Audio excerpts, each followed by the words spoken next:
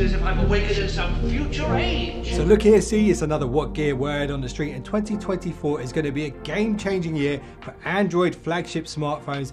Yes, Qualcomm have hatched a new Snapdragon. It is of course the Snapdragon 8 Gen 3, and Qualcomm have given it the title the titan of on-device intelligence. And the firepower is going to be incredible and the AI is to be off the charts. There has been gains in all areas, but in this video, I'm to focus on five key areas that I think you will be most excited about. Let's start with mobile gaming. The gap between smartphones and consoles and PCs is closing. The Snapdragon 8 Gen 3 now has a boost of 30% performance when gaming and it will have a 25% faster GPU than the Gen 2, which is already the beast that sits at the top of the mountain in 2023. And the CPU is improved as well with a new configuration of 152 with a 12 megabyte L3 cache. That's two efficiency cores, five performance cores, and one prime core and the CPU performance has increased by 30% and the clock speed on the prime core of the CPU is 3.3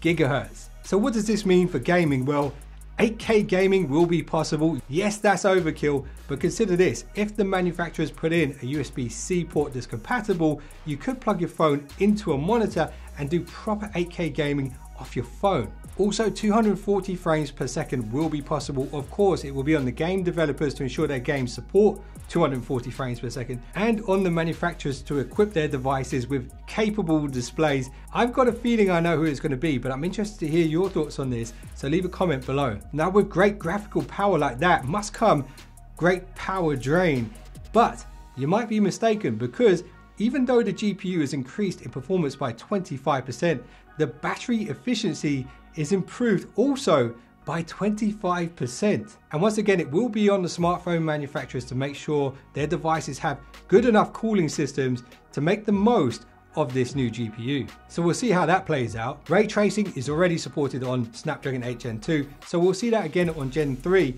but we'll also see upgrades to global illumination lighting, which means we'll see more detailed and accurate reflections in games, making them even more immersive. And check this out, the new Snapdragon Adreno in the Gen 3 will have the ability to upscale 60 frames per second games to 120 frames per second, even if the game settings does not have that option. So that's a smooth, game-changing upgrade. Have you ever heard the saying, the best camera is the one that you have with you? And for most people, that is gonna be the smartphone. And for devices with the new Snapdragon 8 Gen 3, everything in regards to camera is about to elevate. Now, I know time of flight sensors get a bad rap. Some manufacturers have been accused of putting them in their devices to make their devices look more flashy and like they have more cameras. And yes, that has happened in the past, but they do serve a purpose when it comes to depth mapping, information, and this is one of the features that's about to level up. Thanks to the new and improved computer vision engine from Qualcomm, we should see improved portrait photography performance. So that's going to be more precise edge detection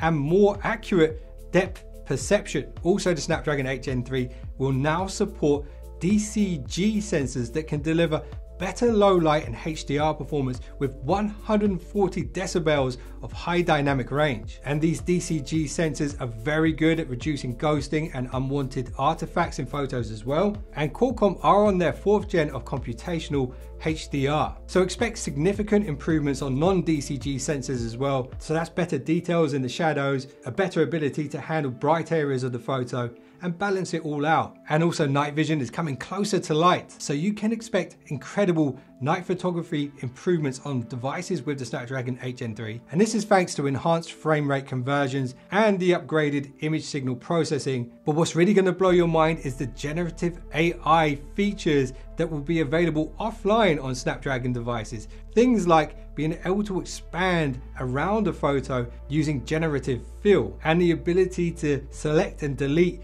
Photo bombers out pictures will be more precise and have a cleaner result than before as well, thanks to this AI. So on a smartphone, when it comes to photos and video, there are really three key pillars. It is the image sensor, the optics in front of that image sensor, and of course, most importantly, the image signal processing. Phones with the Snapdragon 8 Gen 3 will be able to capture 12 layers of information in a single frame. So this means you'll be able to color correct and color grade 12 elements within a single scene individually. For example, if you want the sky to be bright blue or any color, You could do this without affecting the skin tones of your subject in the video or photo. Let's say you want the grass to be greener or even purple, you could make that change without affecting the rest of the image. And just the same way you can remove a photo bomber from a photo, you'll be able to remove video bombers from the back of a video shot using generative AI. And just like photography, the night mode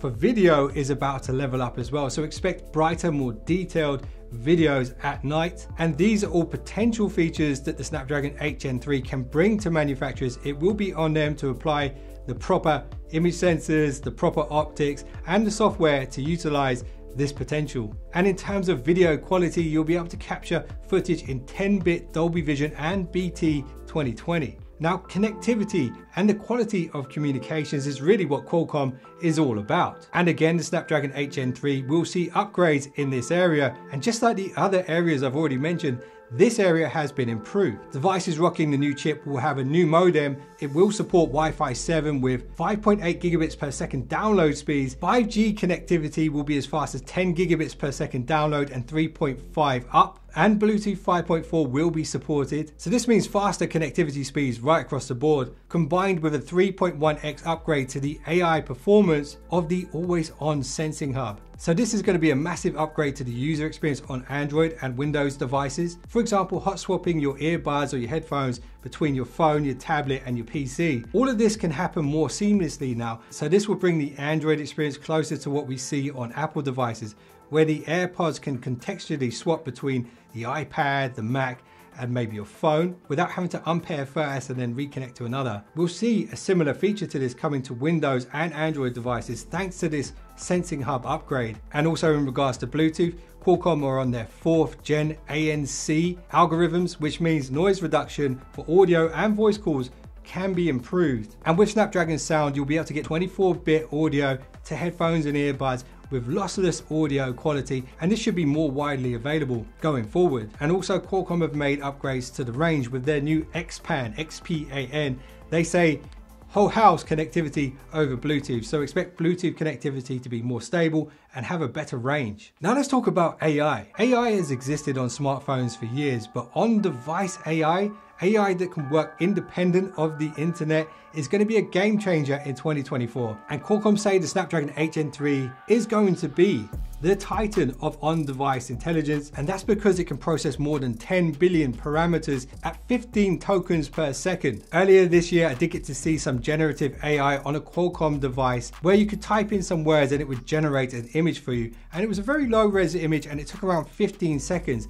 That same image can now be processed in one second. And this is due to a 98% improvement to the Gen 3's NPU. So what does this mean? Well, it means generative on-device AI is coming to your devices soon. And you'll be able to create anything you could think of without having to access the internet. And how could you use this on your phone? Well, you could use generative AI to improve your photography skills, even if you're a terrible photographer. You can use it to expand photos and create more background in an image. And you'll also be able to use stable diffusion to further enhance your images. And if you don't know how to make a good video, well, it could help you in this area too. If you can conceive of an idea and you believe in it, technically you can achieve the result you're looking for on a Snapdragon device with no internet connection. And this could be an absolute game changer for content creation. Once again, it's in the hands of the developers and the manufacturers to support this new ability that the Snapdragon has. And if they do, the on-device generative abilities of Snapdragon phones will literally change the game for content creation because the possibilities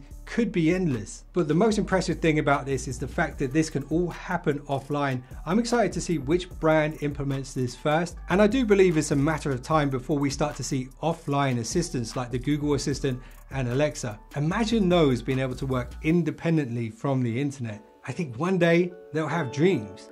One day they'll have secrets. And there's a digital gold medal for anybody who knows what movie that's from. So who will be the first manufacturer to make the most of the new Titan on-device AI features? Let me know what you think in the comments. And don't forget to subscribe for more content like this in the future. I appreciate you guys. I'll see you in the next one and peace in the Middle East.